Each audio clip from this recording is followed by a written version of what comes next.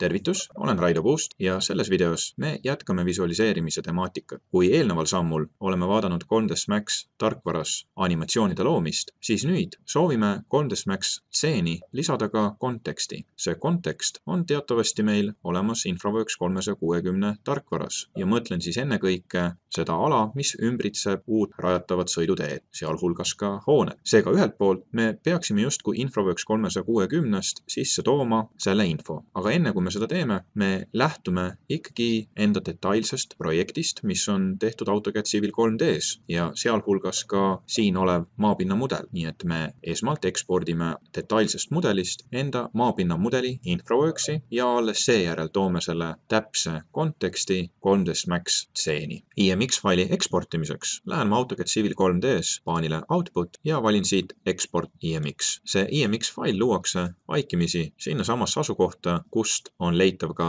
minu hetke avatud DVG joonis. nüüd võin liikuda juba InfraWorks tarkvarasse ja võtta sealse IMX aluseks. nüüd enne kui ma impordin selle FBX-i InfraWorks kolmesaja kuuekümne mudelisse, ma peaksin eemaldama praeguse ja teen seda ikka data source'is paletilt, leian terrain sektsioonist site parkway base corridor design ja klikin siin ülal nupul remove data source, vastan jah. nüüd võin valida juba uuesti Autodesk IMX, liigun asukohta, kuhu siis eelnevalt selle salvestasin, klikin open, andmeallikatest võtan ainult sisse Surface'is ning klikin OK. seejärel pean seda ka konfigureerima, kui rida on valitud, klikin configure data source ja avanevas dialoogis valin ainult siis composite. klikin close and refresh, suurendades vaadet. ma peaksin nägema siis täpsustatud pinnaobjekti, mis saadud detailsest projektist. nüüd võime juba selle mudeli eksportida taas FBX formaati, selleks et 3ds Max tarkvarasse aluseks võtta. liigun settings and utilities peale ning valin export 3D model, valin ala defineerimiseks define interactively ning VBox, määratlen ristkülikuga mind huvitava ala. väga oluline, et offset sektsioonis sa valid origin ja user defined ning kasutad siin nüüd XY-na neid väärtuseid, mida 3ds Maxis Civil View sulle välja pakkus. vastasel juhul need mudelid sul omavahel ei sobitu kokku. nii et eeldades, et sa oled need varasemalt üles kirjutanud, saad sa need X ja Y kastidesse vastavalt lisada. vali seejärel ka asukoht, kuhu sa seda FBX faili soovid salvestada. anna äratuntav nimetus ning kliki Save. kliki ka nupul Export. sõltuvalt valitud ala suurusest võib võtta eksport mõne hetke aega. peale eksporti võime taas liikuda 3ds Max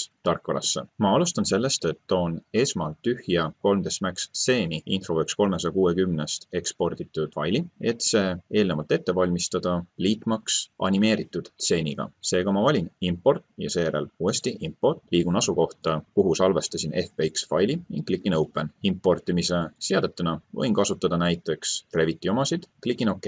eksport võib mõne hetke aega võtta. ma võin nüüd salvestada selle 3ds Max failina, selleks et seda lihtsam oleks sisse võtta või siis liita animeeritud stseeniga. klikin save, valin asukoha ja annan nimetuse ning Max faili laiendiga save. peale salvestamist avan nüüd juba eelnevalt animeeritud stseeni, klikin open ja valin 3ds Max stseeni open. selles stseenis vähendan vaadet, valin nüüd olemasoleva maapinna ning kustutan selle delete klahviga ja toon eelnevalt salvestatud konteksti esitava maapinna mudeli sisse kui import ja merge. nii et siin from InfraWorks kolmsada kuuskümmend, klikin open, valin kõik objektid ja seejärel OK peale importi peaksin ma nägema, et mul on nüüd AutoCAD Civil 3D-st toodud koridormudel ühes animeeritud liiklusega kooskõlas InfraWorks kolmesaja kuuekümnest saadud kontekstiga. nüüd, kus meil on mudelid omavahel liidetud, võime me vaadata, kuidas sellest kõigest luua väljavõtteid ilupiltidena või ka animatsioonidena.